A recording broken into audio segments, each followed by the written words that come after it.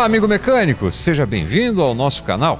Hoje vamos mostrar para você as condições de reparabilidade de um veículo que foi lançado em outubro de 2016, o Jeep Compass. Jeep agora sendo fabricado pela FCA, a Fiat Chrysler Automóveis. E para mostrar estes detalhes, nós viemos até a Vila Maria, aqui em São Paulo, onde está localizada a oficina Dr. American Car que é dirigida pelo Sandro Santos e ela é especializada nos veículos da Chrysler. Sandro, muito obrigado, seja bem-vindo ao nosso canal. Conta um pouquinho para o nosso amigo mecânico da sua história, o porquê de você ter se especializado em Chrysler. Oi Edson, é um prazer estar no canal da revista com você aqui mais uma vez. E eu estou trabalhando nessa área da Chrysler já desde 98. Quando eu saí da Mercedes, eu recebi um convite para trabalhar com Chrysler. Então trabalhei em algumas concessionárias e enfim é, resolvi montar a minha, né, minha própria oficina. E de 2000, finzinho de 2000 a 2001 para cá, eu venho atuando na área da Chrysler. É, já trabalho com mecânica desde os meus 8 anos de idade, então foi um sonho de criança que se tornou realidade. Ou seja, trocar os brinquedos pequenininhos por brinquedos de verdade. E já estou há um bom tempo, gosto muito do que eu faço, sou apaixonado pelo que eu faço e o, de trabalhar com linha americana é, me desperta. Como é que eu vou falar para você? A, a, vontade de querer resolver. São carros que são um pouco mais complexos, as tecnologias são bem mais avançadas do que as nacionais, né? E conhecimento, gosto de explorar conhecimento. Bom, então hoje eu tenho certeza que eu acho que você vai se divertir, porque uma das novidades do Jeep Compass é exatamente o novo motor 2.0 Flex Tiger Shark. Muito bom. Vamos lá conhecer essa criança? Vamos lá, vamos conhecer os detalhes desse motor então. Bom, Sandro, esse motor, o Tiger Shark, ele é um motor inédito no Brasil. E tem algumas soluções, como o duplo comando de válvula. A parte interna dele foi feita com materiais leves, que é exatamente para diminuir, no caso, o peso do motor e, consequentemente, economizar mais combustível. E diferente do motor que é utilizado, por exemplo, nos Estados Unidos, esse motor é produzido no México, ele é flex. E aí foi feito todo um trabalho no sistema de injeção e em todo o trabalho no motor para aceitar o etanol.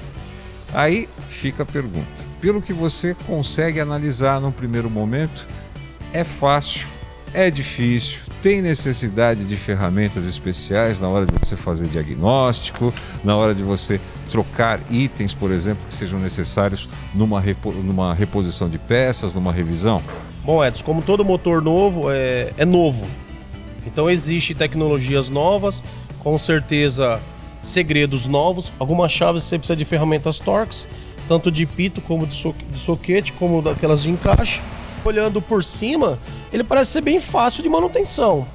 É claro que para poder colocar no ponto tem se é, manuais, tem as ferramentas adequadas para poder estar tá fazendo esse tipo de reparo. Né? Não é também abrir e querer montar sem nenhum tipo de ferramenta específica. Mas ele é um motor sim de fácil é, acesso e fácil reparabilidade. Então vamos pensar, por exemplo, numa situação que seja necessário trocar as velas. Como é que está o acesso para as velas? Você viu que eu tirei aquela parte superior de plástico, que são encaixes, né? São encaixes. Já está aqui o supressor, o supressor está aqui a bobininha. Você vai soltar a travinha L10, você vai puxar ele para cima e já tem acesso à vela. Então é muito rápido e muito fácil. São bobinas individuais. Bobinas individuais. Então não tem, não tem aquele comando de plástico, aquele coletor de plástico igual os outros têm, fácil acesso. Vareta de óleo, óleo, filtro também. Você pega a Philips igual tá mostrando aqui, ó, solta com a Philips, não tem aquela travinha de encaixe igual os outros, que é por segurança para não soltar. E também evita perder. Então você solta com Philips, você já está aqui com um elemento filtrante bem fácil. É bem fácil para reparar esse motor, Edson. E uma coisa essencial nos dias de hoje para esses motores é exatamente a especificação do óleo, né? E de hipótese nenhuma você deve usar um óleo de outra especificação. E isso já está marcado até ali na tampa, pelo que eu estou percebendo. É, ele, já tem a, ele já tem a especificação, que é o 5W30, né? Então tem que parar com esse negócio de misturar também. Você tem que ser o 5W30. Ah, eu tenho o 520. 530, carro parado no plano bastante tempo já parado, você consegue ver o nível do óleo. A vareta está bem fácil também, como todos os outros carros, então já está bem próximo aqui, não tem segredo nenhum, não tem como errar. Esse livrinho que ele mostra aqui, tem um livrinho na tampa, se por acaso essa, essa tinta, né, com a marca da especificação do óleo sumiu, ele já disse que também está no manual. Bom, e depois então já falamos então das velas, falamos do, do, do filtro do ar, você já citou aí a necessidade das chaves Torx. Agora, se a gente for passar aqui, por exemplo, para o sistema de injeção, como nós é, falamos no começo, esse é um motor internacional da FCA, porém, para o Brasil, ele tem o sistema Flex. E aí, o que utilizar na hora de fazer um diagnóstico, na hora de fazer um reparo nesse sistema de injeção? Então, o correto é utilizar scanner original, né? Porque hoje você tem vários scanners que vai ter acessibilidade de você checar o sistema eletrônico, mas o original ele te dá 100% de, de, de certeza do defeito. Então você tem que ter no mínimo um scanner bom, senão você não vai ter acesso ao sistema. Aqueles sistemas de você pegar também falha por painel, ele também tem. Mas preciso profissionalmente para o técnico que for mexer, um scanner bom. Ele vai ter acesso e é como o Renegade e outras linhas. Não tem é, grandes segredos assim para você poder estar tá fazendo a simulação do defeito eletrônico. Bom, Sandro, como falamos no início da matéria, esse é um motor novo, motor Tiger Shark, que é fabricado no México, porém é um motor global da FCA, que atende outros modelos. Nos Estados Unidos, por exemplo, eles utilizam esse motor, só que só movido a gasolina. Aqui no Brasil, ele é flex, aceita gasolina, aceita etanol, mistura dos dois em qualquer proporção. No caso de você fazer um diagnóstico, você ter, por exemplo, que trocar alguma peça do sistema de injeção, como é que é o acesso para isso? Bom, Edson, o próprio scanner, se você tiver um scanner, um scanner moderno, um scanner eletrônico daqueles que ligam a BD2 moderno, ele já vai ser autossuficiente para pegar os defeitos eletrônicos. É, o sistema de injeção eletrônica, parte de bico, você precisa é simples, você precisa remover uma mangueira que já tem um plug play aqui, muito fácil. Você precisa de uma L10, uma 8, uma Philips e uma fenda, você já remove essa, essa parte. Você solta o filtro, ele já está bem fácil. Tudo plug play, não tem como errar. Aqui atrás tem um filtro, um, um filtrozinho que é para tirar ruído e aqui já está o bico é fácil acesso. Como todo carro moderno hoje, eles estão compactando, compactando o, o, ambiente aqui do, do motor, é um pouquinho apertadinho, mas é de fácil acesso e dá para trabalhar sim fácil com a questão de, de bicos injetores. Questões de vela, é fácil também, são bobinas independentes. Uma L10 você já tem acesso muito simples para poder estar tá fazendo essa parte de manutenção. Bom, Sandra, já que você falou em compactar, nós temos aqui condições de observar o elemento filtrante do ar, que também é bem compacto. Né? Sim, ele é bem compacto, o elemento ele também é fácil acesso de manutenção, simples como qualquer carro nacional, não precisa criar nenhum tabu, né? Tem um filtro, caso tenha alguma umidade, ele tenta segurar a água aqui para que não dá calço hidráulico. E tá bem na cara do gol aqui, bem simplesinho. Já falamos então do sistema de distribuição de combustível, falamos do sistema de filtração do ar, as condições ali para você trocar as velas. Agora vamos passar um pouco mais para parte dos freios, daquilo que a gente consegue observar aqui em cima. Por exemplo, o servo freio. Ali já está colocado de uma maneira é, um pouco mais apertada, né? Você já vai ter que desmontar a bateria, vai ter que desmontar o corpo do TBI aqui, né? Para você poder ter acesso. Ele já está numa situação um pouquinho mais complicada, mas é compactado, né? Tudo jeitadinho aqui para que cabe um motorzão desse aqui no carro. E ele está realmente na parte inferior ali, você consegue ter acesso. Mas eu vou falar para você, de muitos Jeeps que passam Chrysler, é um segmento, o, o trabalho aqui é bem suave para fazer, viu? é bem tranquilo eu creio que não vai ter, o setor de reparação não vai ter dor de cabeça em questão disso não. Já para trocar o fluido do freio, aí sim, aí é, é, tá de uma maneira facilitada, né? É, ele já é um reservatório grande, né? Um reservatório fácil acesso, também não tem capa, não tem nada. Tá fácil, até mesmo para você tirar o reservatório para fazer, ele tem uma travinha para fazer a limpeza do reservatório, tirar aquele lodo. Ele já tá mais fácil do que trocar o hidrovácuo. E você falou, por exemplo, no caso de uma remoção da bateria carro com eletrônica embarcada também exige cuidados na hora de remover a bateria. Né? Sim, é o que a gente sempre comenta nessas questões de eletrônica. Ele, esses carros, todos os Chrysler, ele tem as memórias dele ficam gravadas. Então não tem muito segredo para trocar não. Você pode desligar os cabos conforme manda cada fabricante, né? Você pode desligar os cabos. É, essa bateria aqui é de fácil acesso. Ela não está escondida igual as outras embaixo de paralama, nem de banco nenhum em assoalho. Ela está bem exposta aqui na área do motor. E só tem que tomar cuidado para não inverter. Aquela invertidinha básica queima tudo. Tem mais componentes para queimar. Correto. E aí vamos falar então do sistema de refrigeração do motor. No caso de você fazer a manutenção do sistema de refrigeração, radiador, ventoinha, o líquido de arrefecimento. Olha, você também está numa situação aqui bem cômoda porque as mangueiras são quase todas que frontais. A única coisa que você tem nesse carro é que você vê é que ele tem muito aqueles Y, né? Que é de plástico. E isso pode no futuro ressecar, igual acontece em alguns carros da linha ressecar, trincar e quebrar. Mas na hora que for fazer a manutenção também toma cuidado com, com desligar as mangueiras já por causa desses equipamentos de plástico. O ressecamento, qualquer dobrinha poderá, é, poderá vir a causar danos. Agora, braçadeiras, mangueiras, tudo exposto. Não tem segredo nenhum aqui em relação ao arrefecimento. A ventoinha já é um pouco mais complicadinha para tirar, né? Você tem mais acessórios do que os outros carros. Você já tem muita mangueira e fio pela frente, né? Então você tem que desmontar esses acessórios para você chegar até a ventoinha. E o radiador você tem essa capa grande que você desmonta, ajuda você a ter uma visibilidade maior aqui do cockpit. Não, não tô vendo um problema então em questão disso não. Agora, para o dia a dia do usuário de um carro como esse, o reservatório de expansão também ali com a indicação do manual. Isso porque, Sandro? Isso porque ele já fala para você que a tampa tem que ter a pressão correta, ele já diz que você não pode abrir quente. E a questão do manual é porque você tem que ver a, a, o tempo de troca da, do líquido de arrefecimento. Então, quando ele já traz algumas peças do motor com o manualzinho, aqui o proprietário ou quem for manusear o carro, no, no manual de manual do proprietário dentro do carro que vem junto naquela bolsinha tem todas as informações referente a cada item.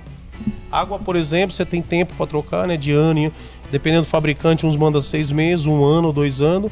Então as revisões certas, 12 mil, 24 mil. Então você tem que acompanhar o manual para saber o que o seu carro pede. É, ele está, também tem no manual a proporção correta do aditivo. A proporção é de fábrica para fábrica, então tem uns que é 40%, uns pede para colocar 50 aditivos, 50 água, outros chega a ser 60. Por isso que tem que pesquisar no manual para não você não tomar a decisão. Você tem que tomar a decisão que o fabricante pede. Depois que você tirou esse suporte que integra o sistema de aspiração do ar, também ficou fácil lá, também ficou fácil lá para a gente visualizar o corpo de aceleração, né? É, o corpo do TBI está bem exposto, bem fácil de manutenção também, envolvido por quatro, três, quatro parafusinhos Torx, que, que é esse componente aqui, né? Então ele está bem fácil, Edson, para poder fazer manutenções periódicas. Fácil acesso, carro até o momento agora, assim, tudo muito simples e fácil. E o acesso à sonda lambda, o sensor de oxigênio. Muito fácil também, a fábrica colocou bem em cima aqui, ó, você tem uma lâmpada. Dá pra ver certinho? Você tem uma, uma sonda, a inferior já está aqui e a superior está aqui bem em cima. Ele só tem essa lata que, para quem não sabe, essa mãozinha aqui é evitar colocar a mão quente aqui. Quando o motor estiver quente, colocar a mão aqui, senão você vai machucar, vai ter queimadura muito forte. Mas ele está bem fácil. Tanto as, os sensores de oxigênio como até mesmo o coletor de escape, que ele está frontal, você tem três parafusinhos, você já está no coletor aqui. Até essa parte aqui também é bem simples e de fácil manutenção. E Sandro, uma outra novidade que traz esse motor, o motor Tiger Shark, que é um motor flex, e como você já percebeu, não tem o tanquinho de gasolina para auxílio de partida frio. O auxílio de partida frio acontece com resistências aquecedoras. O bom de toda essa história é que já é uma inovação. Acho que é o primeiro carro que nós estamos analisando que ele é flex e não tem o tanquinho. Isso é uma novidade e a nova era, né? Então isso também para o sistema de, para o nosso setor de reparação isso é bom, porque é um, um sistema a mais que na verdade nós não vamos ter mais que se preocupar. Não tem mais gasolina podre, problema da, da, da bomba emperrar, não jogar quando tiver com o motor frio. Isso é uma coisa também que traz um benefício, não só para o proprietário, que não tem que mais ficar colocando álcool, é, gasolina no reservatório, como para nós do setor de reparação, que nós não temos mais que ficar dando manutenção nisso. Isso é inovador, isso é muito interessante. E no caso seria, até onde a gente tem conhecimento, é o primeiro carro da Fiat Chrysler que eliminou esse sistema de tanquinho para partida a frio. E um outro detalhe também, a transmissão dele é feita com corrente, a corrente de comando. E os elos foram colocados de maneira invertida exatamente para evitar ruídos. Então, é, essa construção ele já vem também na linha de estar tá usando tudo alumínio, mais plásticos do motor também, porque os tensionadores, a capa da corrente, lá igual diz, é, é de, de plástico. É, a questão da, dos dentes estarem invertidos para eliminar ruídos. Nós estamos falando de um carro zero. Esse carro, quando tiver uma alta quilometragem, igual a gente vê em outros carros que ele cria uma certa folga, isso não vai existir. Então não vai ter aquele batimento de correia, de corrente no, no comando. Já proporcionando, eliminando ruído, vai ter menos consumo de combustível com isso e creio também que vai ter menos manutenção. E vale ressaltar, para que tudo isso funcione direitinho, sem problemas, a importância de utilizar o óleo da especificação correta. Isso é o mais importante. Por isso que nós já falamos do, do 5W30, do manual, então não tem como colocar errado. Uma emergência é diferente da necessidade correta de manutenção. E de uma maneira geral, comparando com outros motores da Chrysler que você conhece, dá para fazer um parâmetro aí, outros motores a gasolina no caso, em termos de facilidade para reparação. Esse aqui ele está no mesmo nível ou foi facilitado? Ele tem muita coisa que nos favorece. Ele tem sim muitos componentes que já está mais fácil de manutenção. Porém, só o coletor de admissão que nós já analisamos aqui, que se for ter que fazer o reparo, acho que é um dos itens mais complicados. Porque ele está na parte traseira, vai envolver elevador, né? então você vai ter que tirar uma parte por baixo, outra por cima. Em relação de correr, corrente, ele também tem um espaço muito grande. Então eu tô para falar para você que esse veículo aqui, em, questões de ah, é, facilidades e acessibilidade para reparo, é nota 10. E também já, né, falando para você, esse motor Tiger Shark também equipa a Fiat Toro, porém ele é 2.4, não é 2.0. Ou seja, você que é especialista em Chrysler também está começando a se especializar em Fiat, né? É, nós temos que acompanhar a tendência, né? Quem diz, todos nós temos que se atualizar.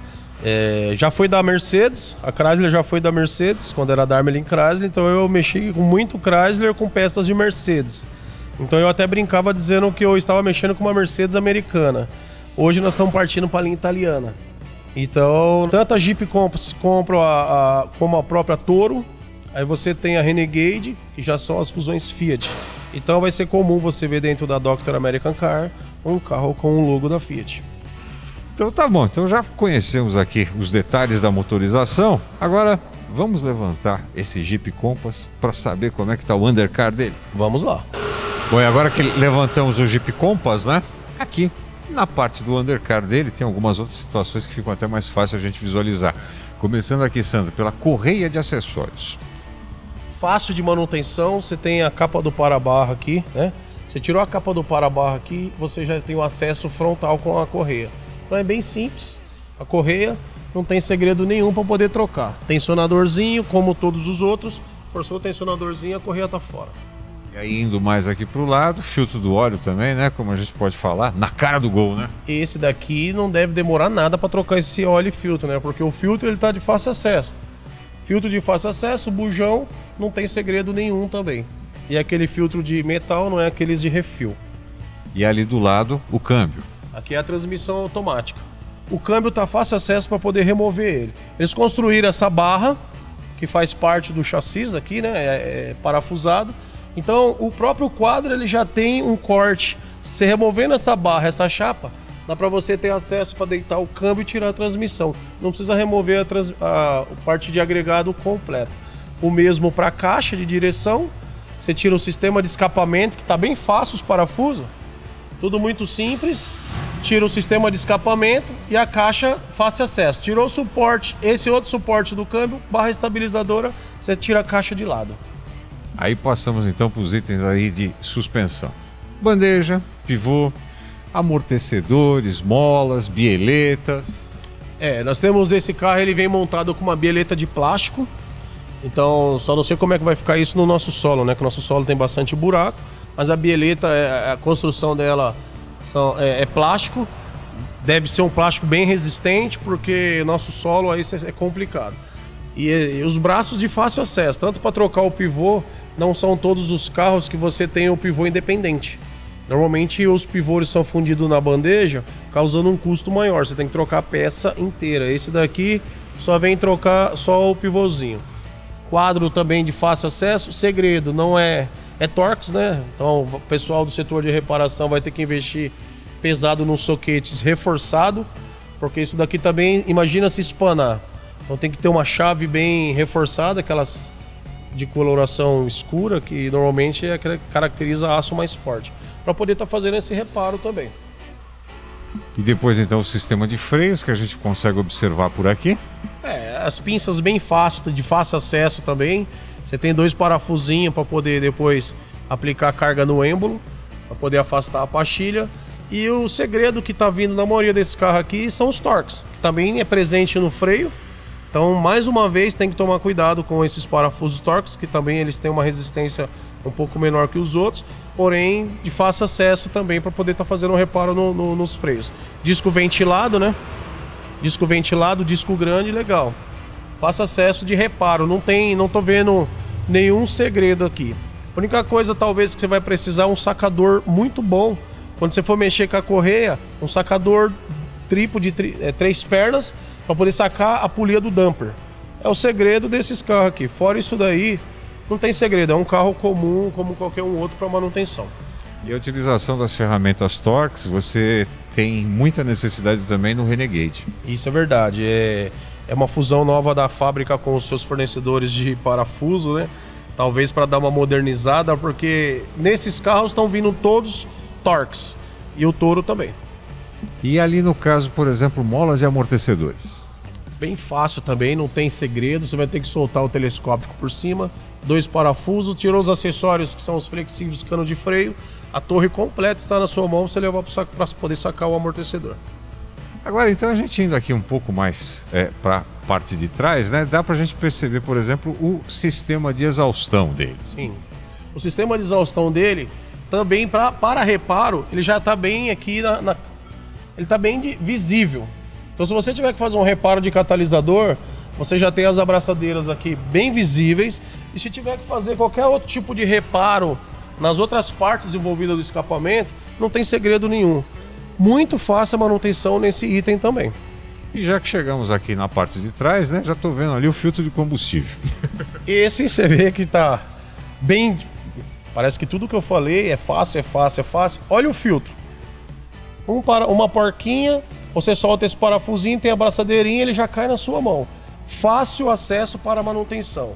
Aqui a única coisa que vai dar um pouquinho mais de trabalho, se você for tirar o tanque de combustível para fazer um reparo na bomba ou qualquer outro tipo de reparo, você vai ter que descer o escapamento.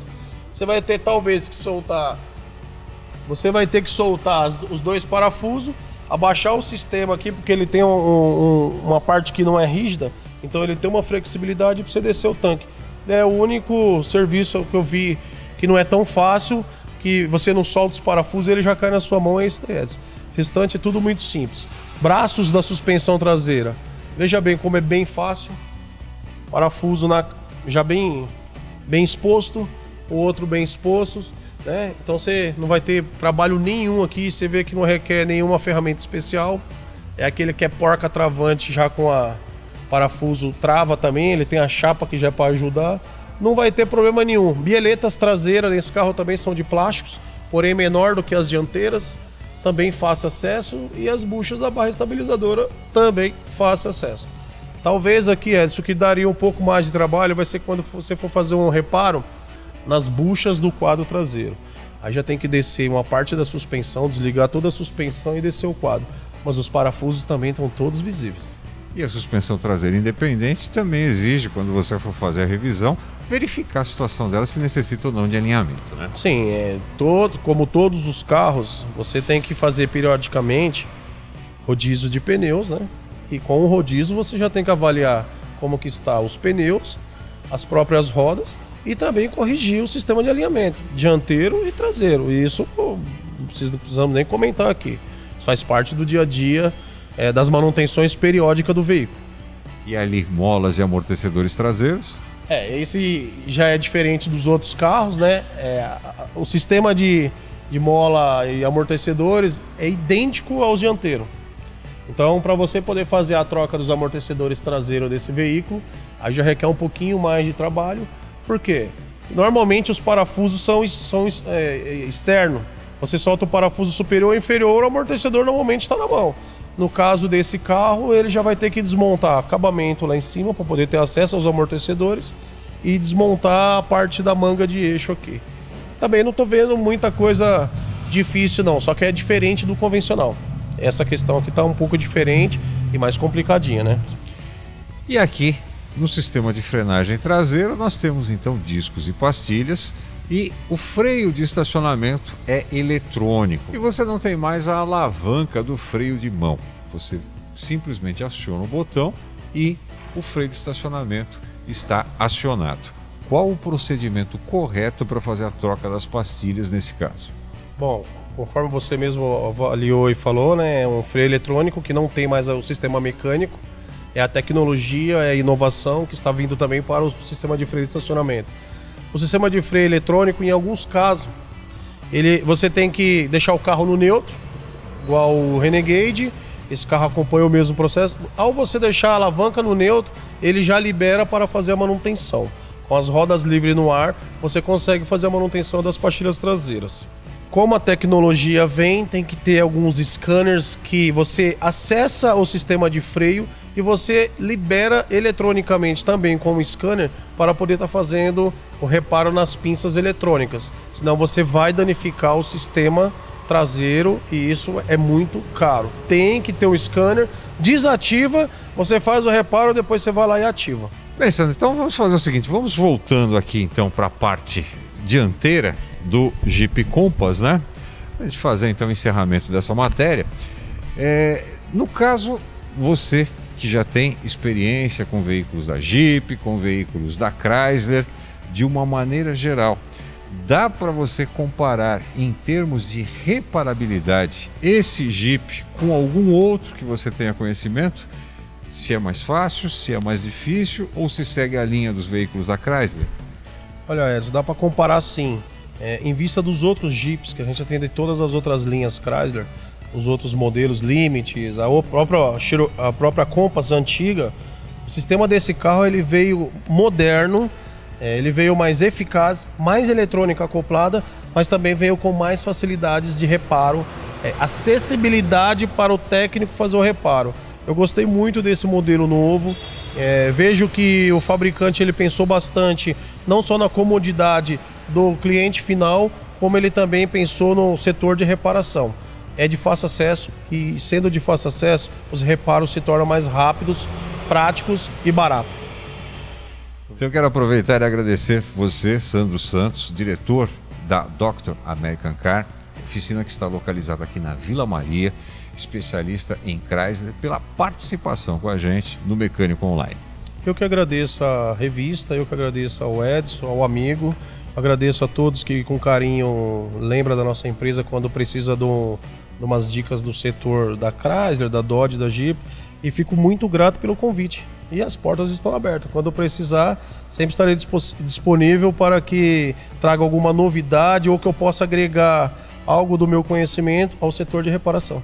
Ah, com certeza, você pode ter certeza que nós vamos pedir sim. Eu fico muito grato por isso. Muito obrigado a todos.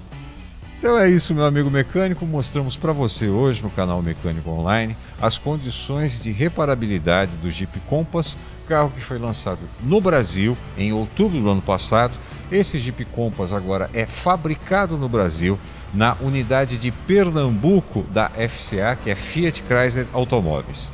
Muito obrigado pelo seu carinho, pela sua atenção. Você que acompanha o nosso canal, inscreva-se se você ainda não está inscrito. É muito fácil para fazer a sua inscrição. É só você olhar aí do lado direito do vídeo.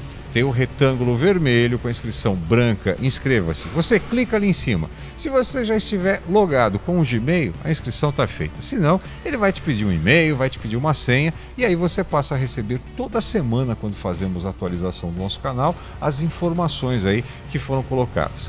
E já que você está nessa, está totalmente ligado na internet, não deixe de visitar o nosso portal omecânico.com.br, que é atualizado diariamente com novidades do setor de reparação para você. E lógico, também leia a revista O Mecânico, que é distribuída mensalmente e curta a nossa página no Facebook, facebook.com barra o mecânico, que também todo dia tem atualização para você conhecer o que acontece no mercado.